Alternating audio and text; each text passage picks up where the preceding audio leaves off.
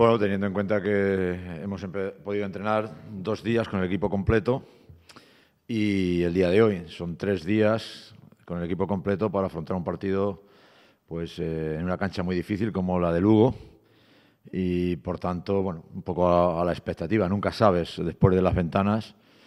Cada uno viene, medio equipo viene de un sitio o de otro. Eh, normalmente de haber jugado bien, en, el caso nuestro. Eh, jugadores eufóricos por haber conseguido el campeonato del mundo, ir al campeonato del mundo, eh, por sentirse bien jugando con las selecciones. Y ahora deben aterrizar, deben aterrizar en nuestra realidad, en la realidad del Betis baloncesto, en saber que tenemos eh, muchísimas dificultades en la tabla clasificatoria.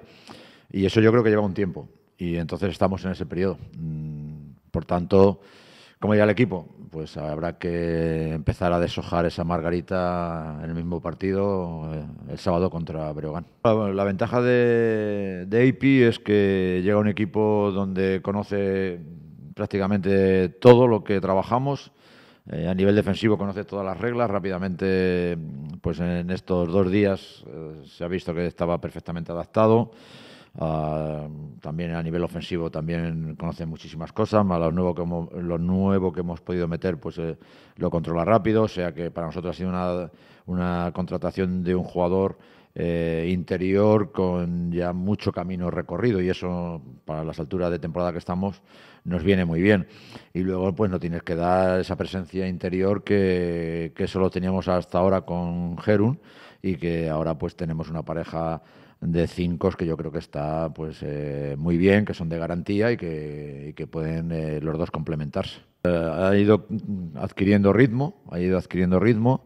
se le nota todavía, bueno, pues que está lejos de, de sus capacidades, de, de, lo que conocemos de Baez, de cómo acabó la temporada pasada, de cómo empezó esta, porque vino muy bien del verano y poco a poco, pues yo creo que va cogiendo ritmo y lo mejor y lo más interesante es que desde que se produjo el parón el liguero, él ha ido incrementando su ritmo de trabajo. Ahora está ya siendo uno más de la plantilla a nivel de trabajo colectivo y eso yo creo que son buenas noticias y esperemos que pronto pues pueda estar al nivel que, corresponde a, un jugador como Eulis Baez. Bueno, que es un equipo que juega muy sólido, ya lo hablamos cuando vinieron aquí en la primera vuelta, es un equipo que comete pocos errores, que dentro de su juventud, que tiene mucha juventud en el equipo, eh, juegan muy serios, juegan sin cometer errores, como decía antes. Eh, un equipo que mm, debemos tener mucha paciencia a nivel defensivo de saber defender sus primeras opciones, eh, sus segundas opciones. Cuando esté el juego roto van a seguir creando ventajas, entonces tenemos que estar muy concentrados a nivel defensivo. Y yo destacaría eso, pues que es un equipo que cuando está empatado a victorias con el que está en la octava posición, que se ha quedado por poquito fuera de la Copa del Rey, es que están haciendo muchas cosas bien. Y además, en el Pazo, pues yo creo que se hacen todavía más fuerte, porque crean ahí una química cuando el equipo empieza a jugar bien en la cancha con la grada, que al final se transmite y que le dan una energía extra que no tienen fuera de casa y por tanto en ese sentido todavía les hace más peligroso. ¿no? Creo que es defensivamente, tener esa constancia defensiva de saber que hay que defender todos los segundos de la posesión que tenga Breogán. O sea, ellos pueden hacer ataques muy rápidos porque son un equipo que te castiga si tienes errores pero vuelvo a repetir, saben no tomar malos tiros, no pierden balones y por tanto tenemos que tener esa, eh, digamos, constancia defensiva para defender y estar concentrados todos los segundos de esa posesión.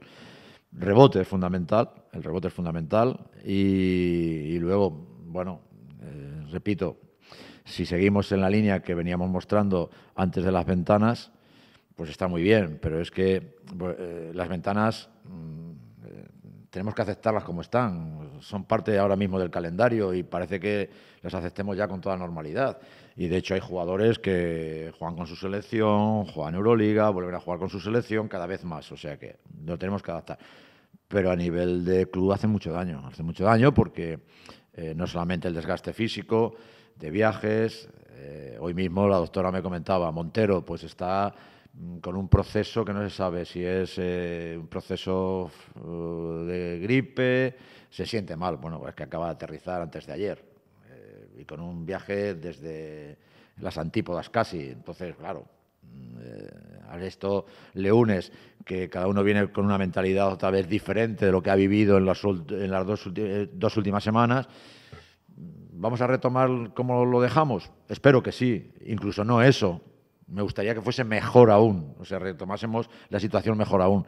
Pero vuelve a ser una incógnita. Hasta que no aterricemos, nos pongamos en la cancha, en una cancha difícil, dura, no vamos a saber dónde estamos otra vez. O sea, a mí no me gusta engañar a nadie ni lanzar campanas al vuelo cuando no hay todavía esa posibilidad, ni sabemos cómo va a ser. Mi trabajo ahora mismo es ponerles aquí otra vez.